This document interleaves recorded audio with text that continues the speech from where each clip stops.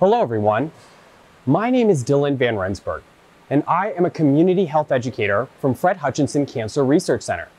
Today, I want to talk with you about the importance of colorectal cancer prevention.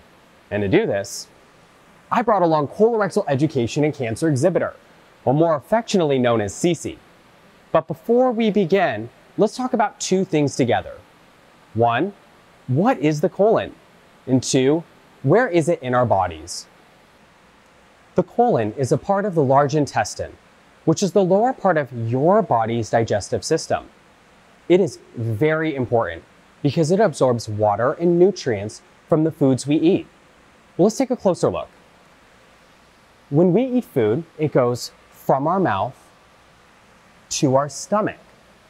It then goes through these long tubular canals we call the small intestine. Well, then finally, this top part here. This is the colon or large intestine, and it's where we are right now. So now that we know what the colon is and where is it in our bodies, let's talk about what does normal colon tissue look like, or colon tissue without cancer. Take a look at the colon wall. Notice it's flat, it's pink, and very smooth. This is normal colon tissue.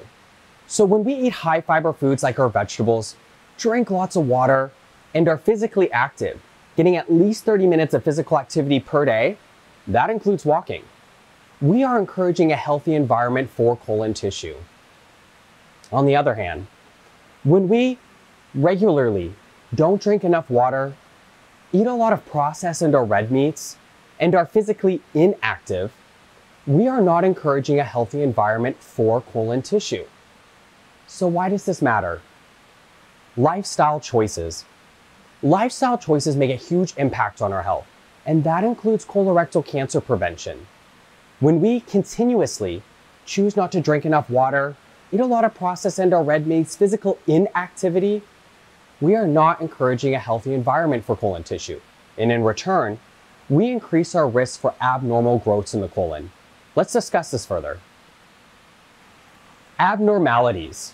When I say abnormalities, I'm talking about things that are not normal to colon tissue. We'll take a look at the colon wall here. Notice this balloon-like structure coming from the colon wall. These are called polyps. Polyps are abnormal growths that we find in the colon or large intestine. Now there's two types of polyps we want you to be familiar with, starting with these ones. These are called benign polyps. Benign is a fancy way of saying not currently dangerous. In other words, these polyps are abnormal growths, but they're not going to turn into cancer at this point. However, doctors still worry about benign polyps because some benign polyps might turn into another type of polyp. Let's take a closer look. Take a look at these. Notice that these polyps look different than the benign polyps I showed you before. These are called malignant polyps. Malignant is a fancy way of saying currently dangerous. In other words, these polyps are actually early stages of colorectal cancer. And if left untreated, they can progress into advanced stage colorectal cancer. Let's move forward. Like I said before, lifestyle choices make a huge impact on our health. And some people are just more prone to developing polyps than other people. Well, why is that? Well, there's at least two reasons. Chronic or long lasting diseases unique to the colon can increase our risk for polyp growth. Take a look at this. Diseases like Crohn's disease, which is depicted here, diverticulitis, Lynch syndrome, and other related diseases all increase our risk for polyp development. And in addition to that, having a family history of colorectal cancer can also increase our risk for polyp growth. So talk with your doctor to see if this might be true for you. And if it is, a doctor will likely recommend that you need to be screened at a younger age. We'll talk about screenings in a moment, but for now, let's move forward. Let's talk about advanced stage colorectal cancer. And to do this, Let's take this segment into three parts, starting with this. This is advanced stage colorectal cancer. Notice that the malignant polyps have now turned into this large, hard structure. This is what we want to avoid. because as cancers grow older, they become more difficult to treat. Let me give you another example. Take a look at the colon wall. Notice that this advanced stage cancer is unique because it has moved from one side of the colon wall to another. And in fact, this colorectal cancer has moved to outside the colon wall. Let's take a closer look. When cancer cells break away, they sometimes travel to new areas of the body and form new cancers. This process is called metastasis, and it makes treating cancer very difficult. In fact, in Washington state right now, colorectal cancer is the fourth most common cancer, but it's the second leading cause of cancer related deaths. So, what do we do? How do we prevent these polyps from turning into these advanced stage cancers?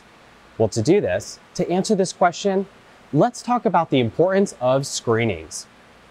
Like I said before, lifestyle choices make a huge impact on our health. And in addition to that, the key to colorectal cancer prevention is through regular screenings. A screening is a preventative test, and it looks for cancer before a person has any signs or symptoms. So, unless you have a long lasting disease unique to the colon or a family history of colorectal cancer, a doctor will likely recommend that you should be screened starting at age 50. Now, there's several types of colorectal cancer screenings out there, but we want you to be familiar with at least two of them starting with this one fecal immunochemical test kit, but you can call it a FIT kit. A FIT kit is a take home test. FIT kit is usually recommended start once a year, starting at age 50. You can receive a FIT kit from your healthcare provider. You can either pick one up in person or have it delivered through you through the mail. Once you receive your FIT kit, you use the device to collect a small amount of stool. You then send the completed FIT kit back through the mail. Doctors are analyzing the FIT kit to see if there's any unusual blood or cells in the stool that may be caused by polyps. Remember, polyps can be a key indicator for colorectal cancer. So, if polyps are detected, doctors will usually recommend another type of screening. And it's the second screening I want to talk with you about today. Let's talk about a colonoscopy. A colonoscopy is another preventative test.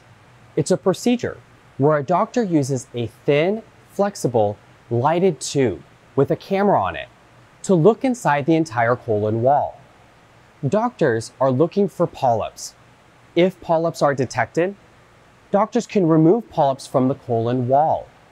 So, unless otherwise recommended, doctors will usually recommend that you screen for a colonoscopy once every 10 years, starting at age 50. Wow, we have covered a large range of topics today about colorectal cancer. And I gotta say, talking about cancer, it can be overwhelming.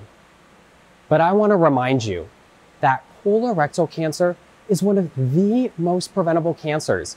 You yourself can make a difference through lifestyle choices and through regular screenings. So please, take active measures in your health. Start by talking with a healthcare provider to see if screenings are right for you. If you are interested in more information about colorectal cancer, you may also visit the National Cancer Institute's website at www.cancer.gov or visit their Cancer Information Service line at 1 800 4 Cancer. I want to thank you so much for your time today. And please remember stay safe and stay healthy.